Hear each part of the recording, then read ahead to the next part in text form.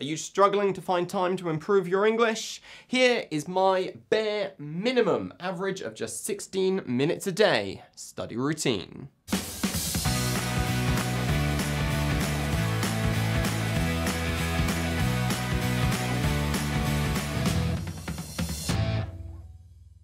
Hello, I'm Julian Northbrook from doingenglish.com, here to help you master the English language faster, with less stress, less hassle, and fewer of those goddamn headaches. Recently, one of my extraordinary English speakers members asked me how much time they should spend on lessons. My answer to them?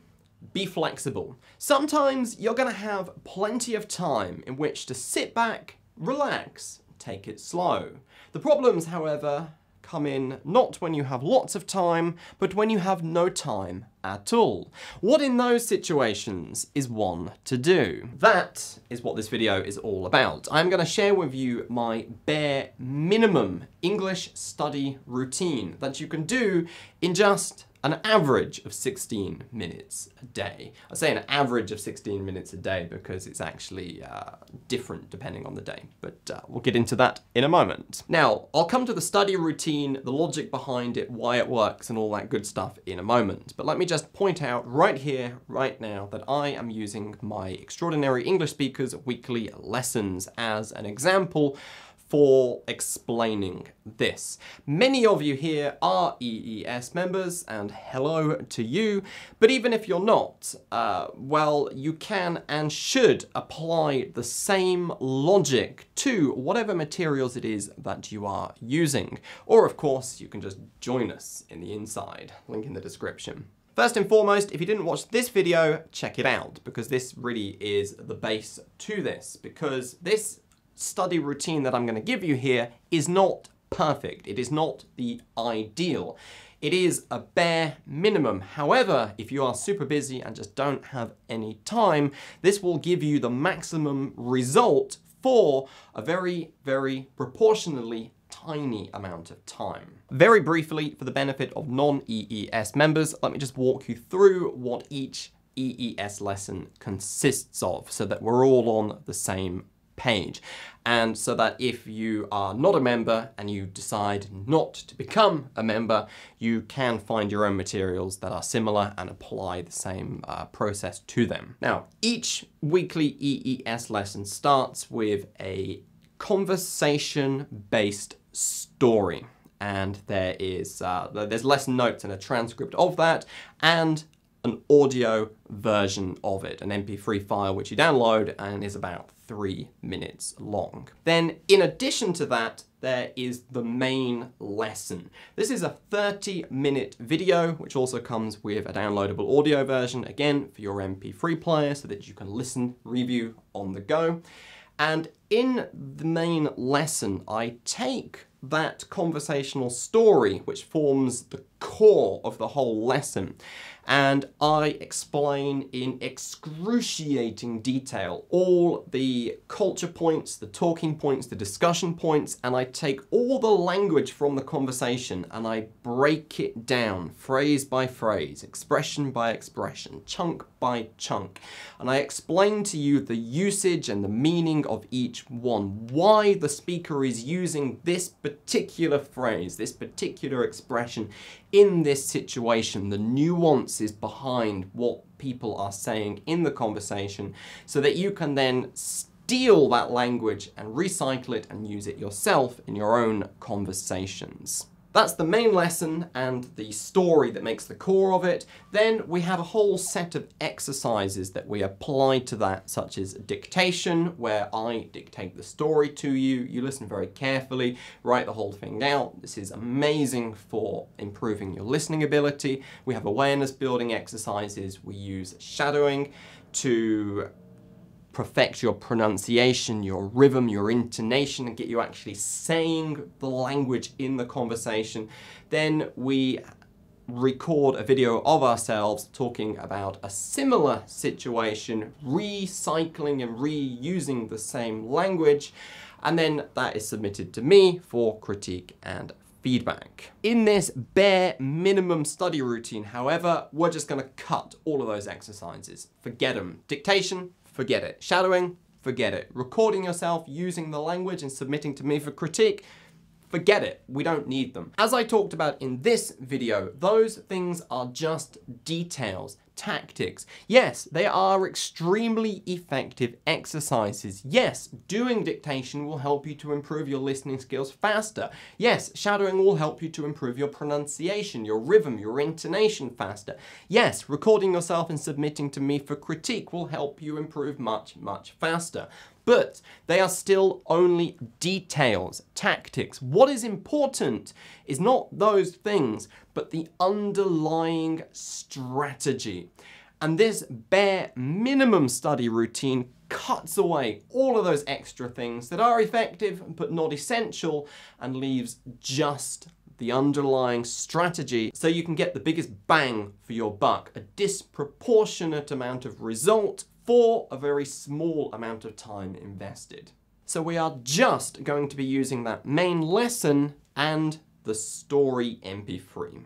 So this is a seven day, one week routine. What we're gonna do is on day one, take not the story itself, forget about that for now, but instead take the main lesson. And in day one, you are just going to watch the video of the lesson of me explaining all the talking points, the culture points, all the phrases and expressions, etc, etc. If you really, really don't have time to watch the video and you can't even use your smartphone, say on the train on your way to work, then just download the audio version and just listen to it whilst you're walking, whilst you're cleaning, or whatever it is that you're doing.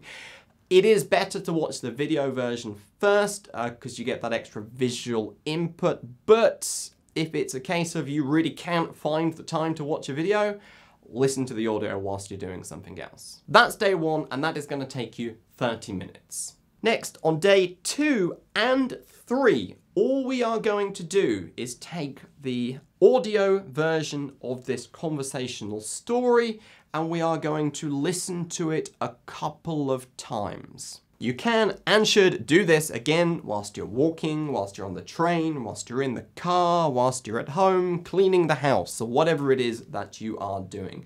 Just listen to it a couple of times for those two days. That's going to take you five or six minutes.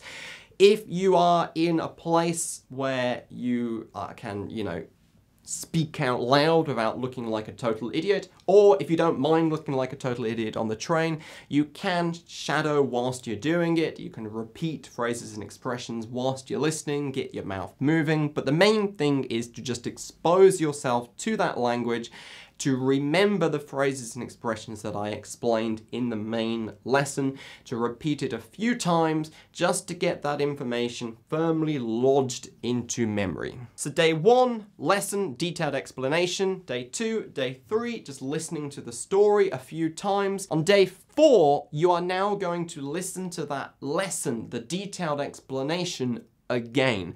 Now you don't need to worry about the video version, just use the audio version. Again, listen to it whilst you're in the car or on the train, going to work, cleaning the house, whatever it is that you are doing. As much as possible, try not to use any extra time. Day five, day six, we are now going to go back to the story MP3 and we're going to listen to it a few times again, two, three times each day, again, just to recall all those common phrases and expressions, to remember all the details that was discussed in the lesson. If you can get your mouth moving and repeat stuff as you're listening, if you can shadow it whilst you're listening, brilliant. If you can't, forget it. And then finally, on day seven, we're gonna listen to the detailed lesson, the explanation of everything one final time, and then we are done. So the routine goes, lesson, story, story, lesson, story, story, lesson. 30 minutes, 5 minutes, 5 minutes, 30 minutes, 5 minutes, 5 minutes, 30 minutes. That's what, 110 minutes, just under 2 hours for the whole week, or about 16 minutes a day on average. Is this as good as doing all the exercises that uh, we normally do in Extraordinary English Speakers? Dictation to force your listening to improve, the awareness building exercises, intensive shadowing, recording yourself using the language and submitting for critique. No, it's not.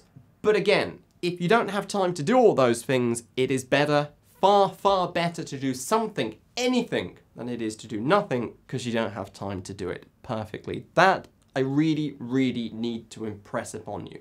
Something done is better than nothing done perfectly. The logic behind this routine. First we do the lesson because we just want to notice all the things that's going on as quickly as possible.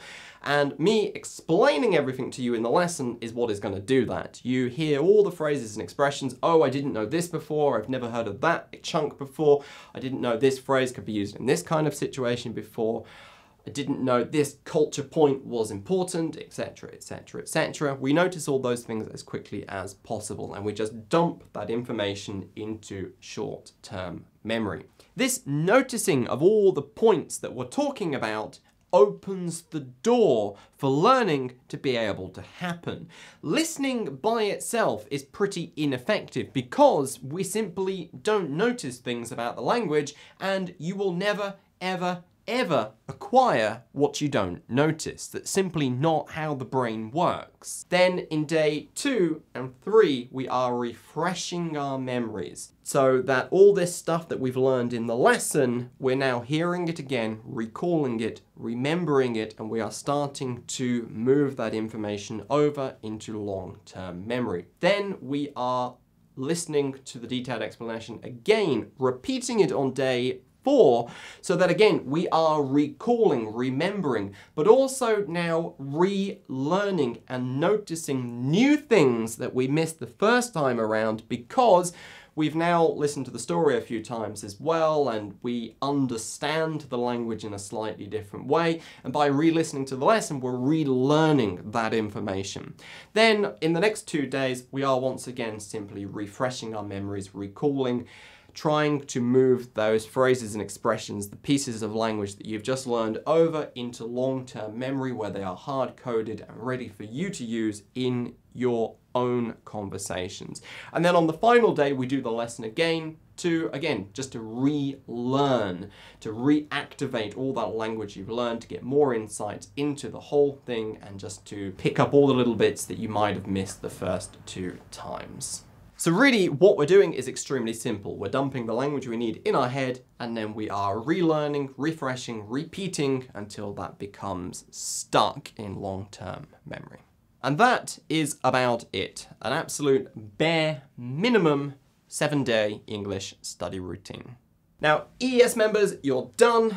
Go get on with it. If you're not an EES member, remember you can and should apply this logic to your everyday English learning anyway. Just make sure that the materials that you are using are of the highest quality so that this language that you are dumping in your head really is the language that you need, the most useful phrases and expressions, chunks of language that they possibly can be, so that this time is not wasted. Because remember, no matter what you do, if you're learning the wrong thing, it ain't gonna help you.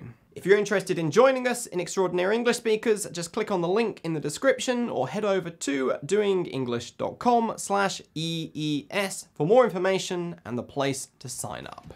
And that, ladies and gentlemen, boys and girls, is me, Julian Northbrook, signing off from another video. If you're completely new to this channel, do subscribe. There's a new video from me every day at 7 p.m. JST. If you found this video helpful, give it a thumbs up. If you thought it was crap and hated it, go ahead, bash that thumbs down button now. But either way, mon petit frère, I will see you in the next video. Thank you, and goodbye.